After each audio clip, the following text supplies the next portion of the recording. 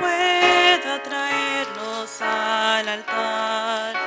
Y a hombres de autoridad nunca llegue a conocer.